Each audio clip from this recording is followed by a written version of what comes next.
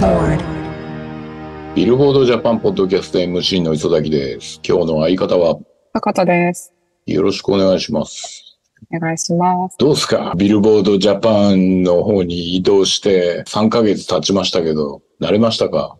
だんだんと、以前よりは話すスピードとか、まあ知識もちょっと増えてきて、そこをブラッシュアップしてる感じになると思います。ビルボードライブとビルボードジャパン両方見てるのは大変ですか？大変ですね。やっぱ全然やることが違うので、どう、どう違う感じがするの？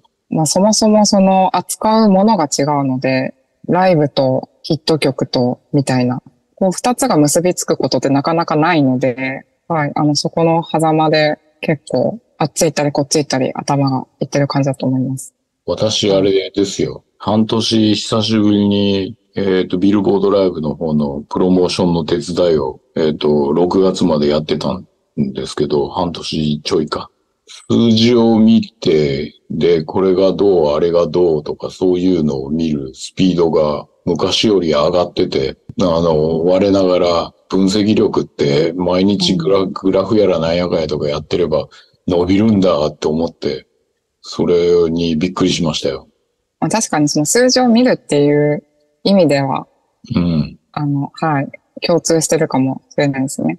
アーティストウォッチで一番やるんですけど、このアーティストのファンの規模感とか、今どういう状況にあるかとかを考えるっていうのがあるじゃん。で、そのファンの人たちの、こう、情報を取得するチャンネルがどこかとかをアーティストウォッチって考えるんですけど、ビルボードライブの、えっ、と、いくつもの公演のところで、それのチャンネルを考えるっていうのも結構同じだったりするんですよ。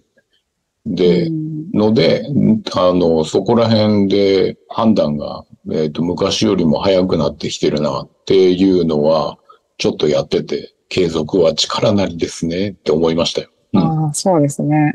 坂田さん、ビルボードライブの方をトータルで見てらっしゃいますけれども、ね、きっと、次になれるよ。そうですね。ちょっとまだ数をこなせてない感はあるかもしれないですね。1年間回して2週目に入ったぐらいからようやくこう、なんとなくわかる感じだよ。まあちょっと全体を見るっていうところにまだ慣れてなくって、こう一つのことにフォーカスしがちなところとかもあるので、うんちょっと全体を見て慣れていこうと思います。はい。楽しくやっていただければと思うんですけれども。あとはあれか、チャート系のこう露出のコントロールとかも坂田さんは担当されてるからメディアからの問い合わせもすごい感じですか？そうですね。こう毎週どこかしらにそのビルボードジャパンとして出している情報が取り扱っていただいてるので、上半期チャートを発表したタイミングとかでも、ここれってこういうことですか？みたいなところとかのお問い合わせも多かったですし、この曲って何がすごいんですか？みたいなところを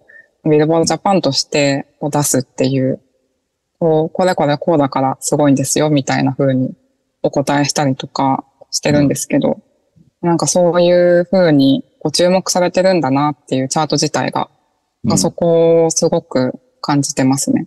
土日関係なく問い合わせ来るもんね。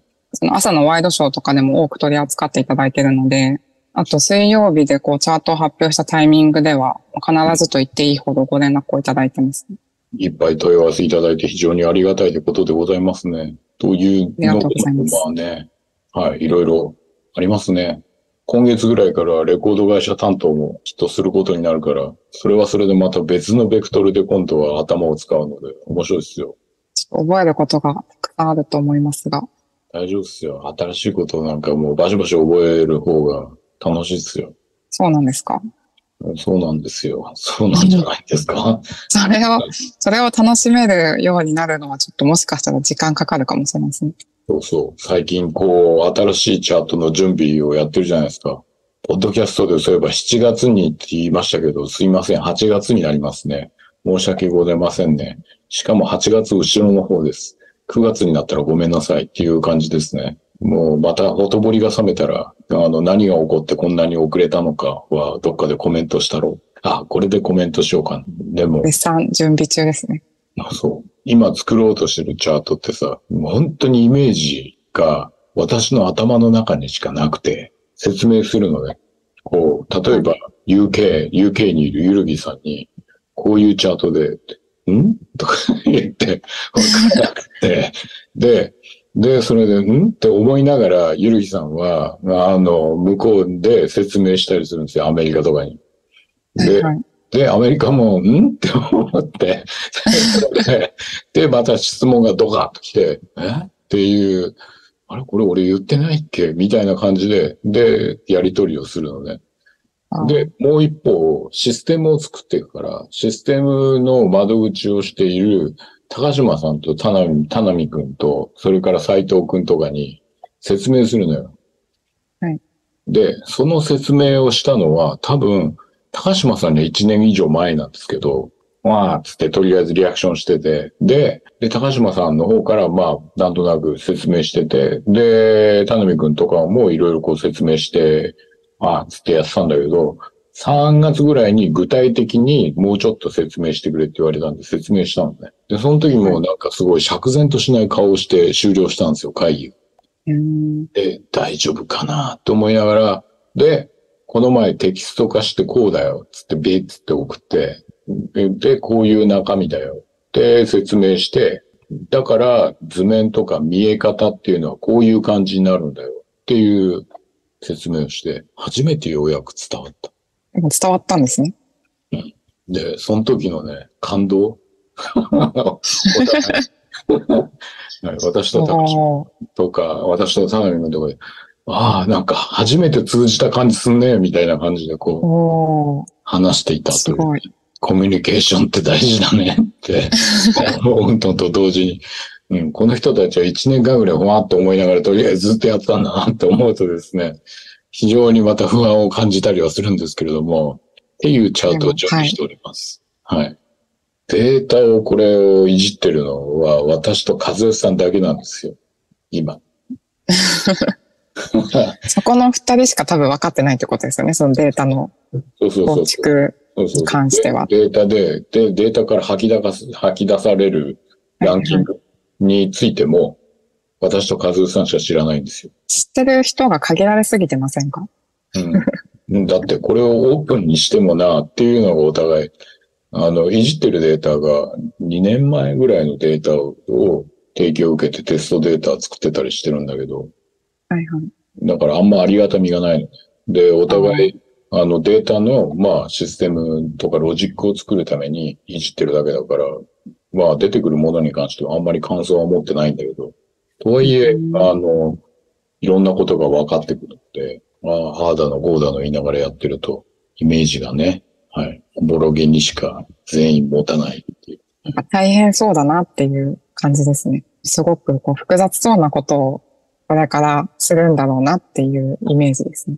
チャートを作ってきて、で、チャートを作ってきて、それでこういうのをやろうっつってやって、やりながら提供されるデータはどのぐらいどういう構成で出てくるのかっていうのが全くわからないままで、チャートのイメージを作んなきゃいけないっていうのは初めての経験でしたね。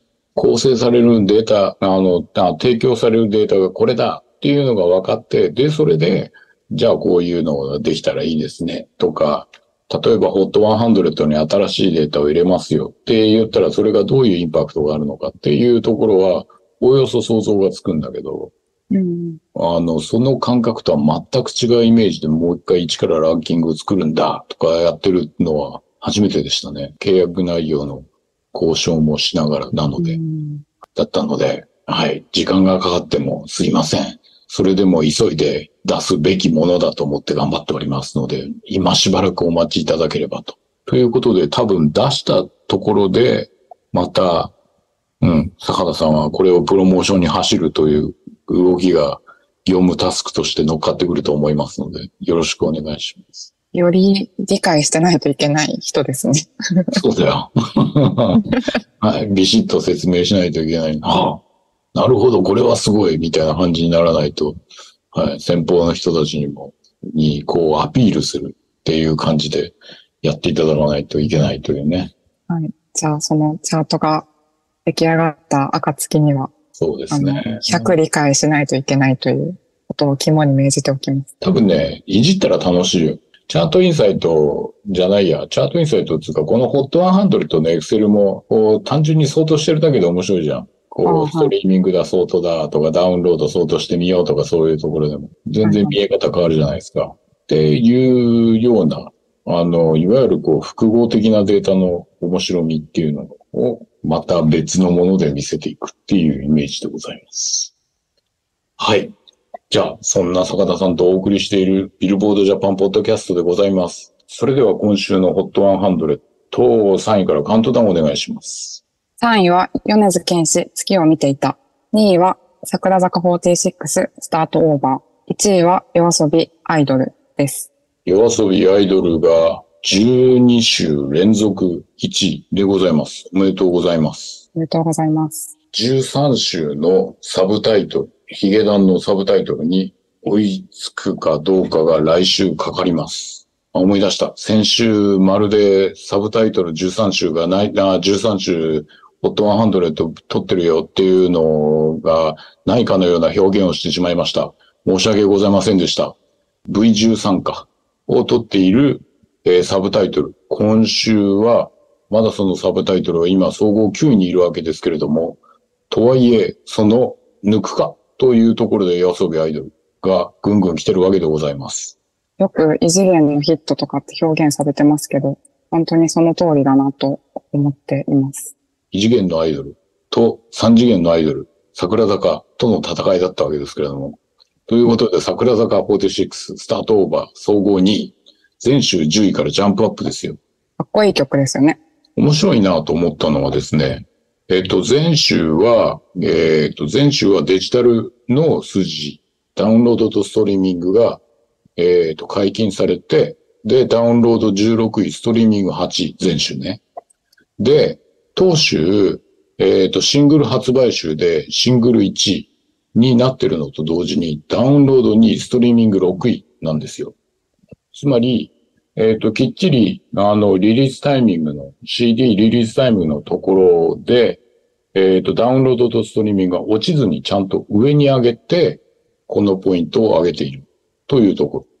総合ポイントが11,417ポイントまで上がりましたって感じですね。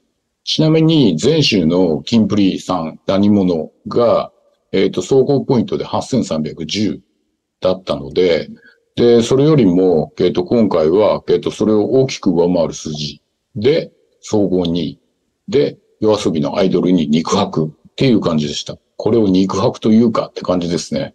どうも19,414ポイントがアイドルですけど。もう一個ね、興味深いなと思ったのはですね、最終回だったじゃないですか、推しの子。で、あ、はいはい。ストリーミングの数字は上がんのかっていうところとか、MV の数字は上がんのかとかが興味あったんですけど、落ちたんですよ、数字が。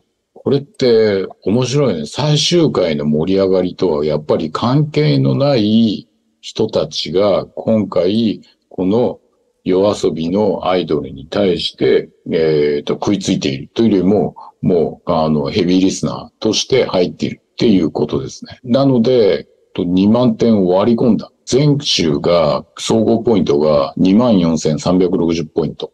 そこから、えっと、19,414ポイントに落ちちゃった。つう感じなんですよ。ので、これが今後どうなるかは、だから来週、どうよっていうところは注目になってまいりましたね。と言いながら、えっ、と、前回までダウンロードも含めて4部門、ダウンロードストリーミング動画カラオケで4部門で1位だったのが、今週ダウンロード1位を明け渡したのが、米津玄師月を見ていたでございます。壮大な感じがしましたね。ファイナルファンタジーっぽいなって思いました。本当？レモン感ないですか？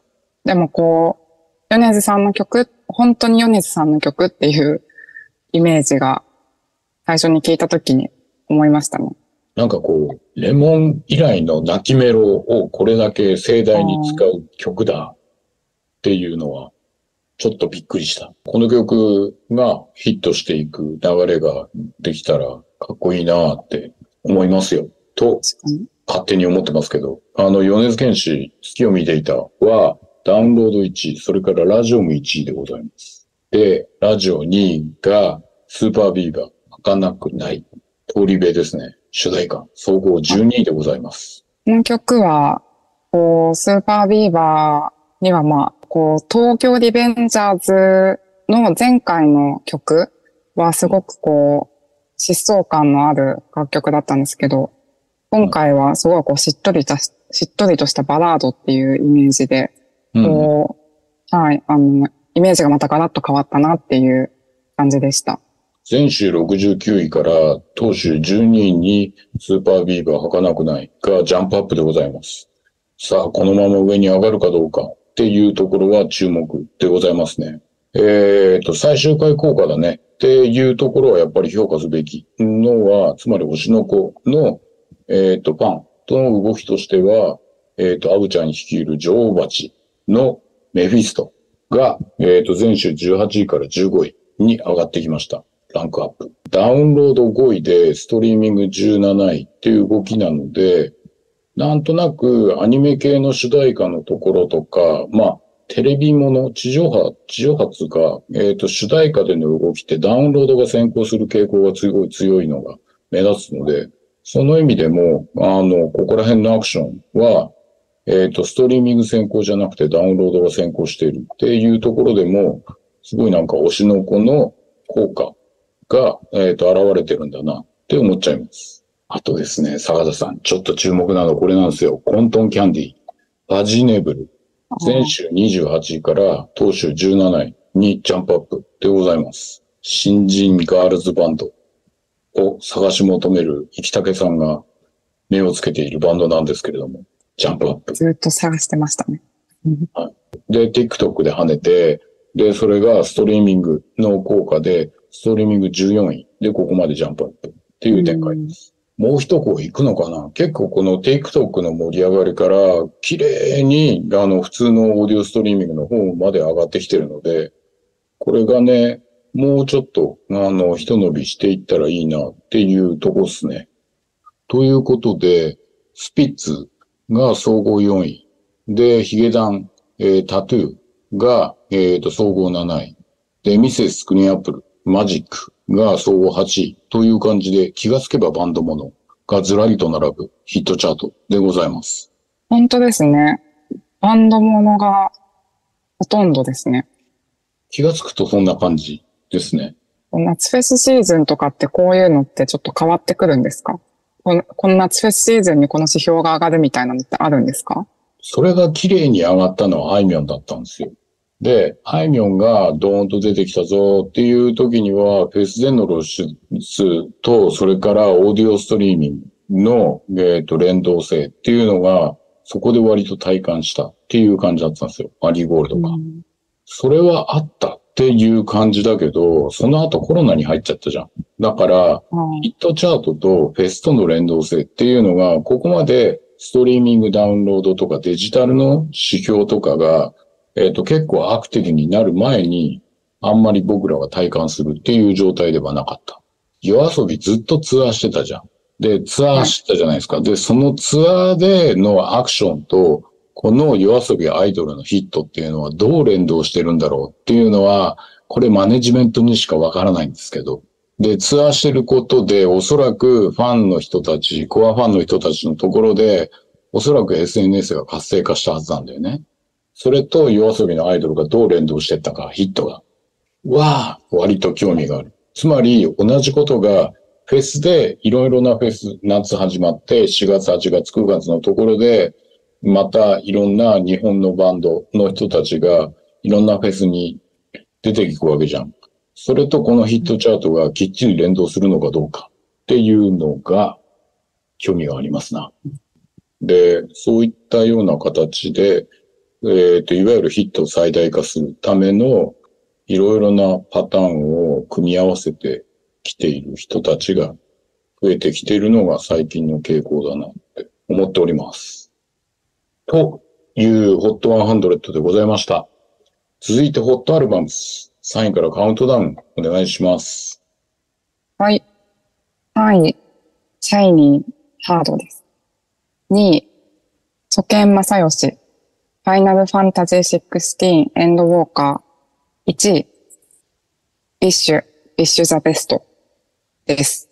ということで、えー解散の BiSHが、えーベスト、 BiSH THE BESTが総合1位を取りました。おめでとうございます。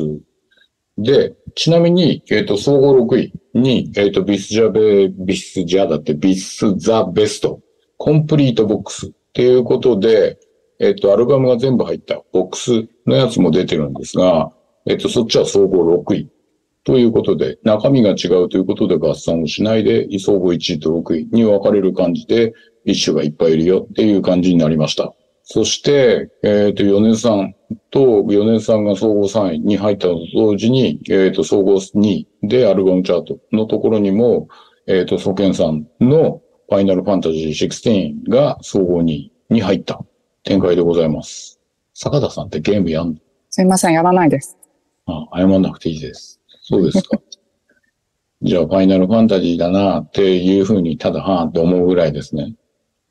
そうですね。だからそのゲーム音楽がこういう風に、こう、ものすごく上の順位に来てるっていうのが、ゲームとそのゲーム音楽の結びつきみたいな、そのゲームと音楽の結びつきみたいなうん。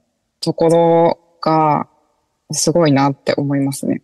え、じゃあ、みんなそのゲームも好きだし、音楽も好きで聴いている人がいるから、この2位っていう順位だと思うんですけど、うん、よくあるじゃん、クラシックで、あの、ゲーム音楽をクラシックアレンジして、それをみんなで聴こうとか、そういうのあるじゃないですか。音楽にもファンがついてるっていうところに、結構びっくりしましたね。最初そういう企画があるっていうのを知ったときに。ああ。頭の中でね、多分ね、そのゲームの自分が盛り上がったそのシーンが再生されるんだよ。と、勝手に私は思ってすけど。はい。うん。はい私は、神さんがセブンとかやってた、セブン、セブンだとか、ナインだとかやってたのを、横目で見ていただけですけれども、多分その音楽がかかるとね、フラッシュバックが起きてね、っていうのがあるんだと思うよ。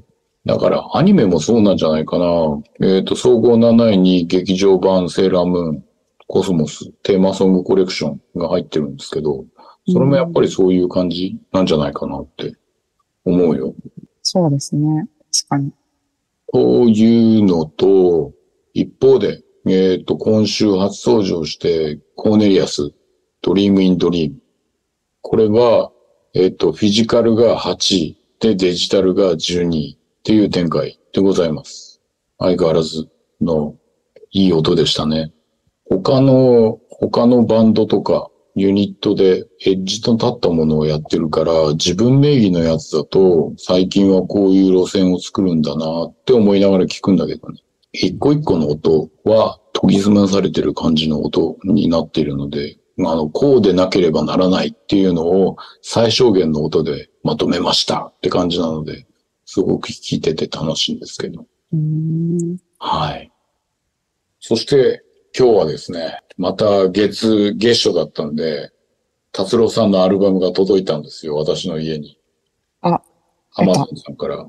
はい。ということで、はい、ムーングローと、それからゴーアヘッドの2枚が、アナログが届いてですね、それを今日楽しんで、日中、チャートを見ながら作ってたわけでございますけれども、テレワークしながら、はい、聞いてたわけでございます。で、達郎さんの今回のやつって1978年とか79年の作品なんですけど、それ、すごい大人っぽいんで、大人っぽいんだけど声若いんだよ。で、演奏も大人っぽいんだけど、みんな若いんだよ。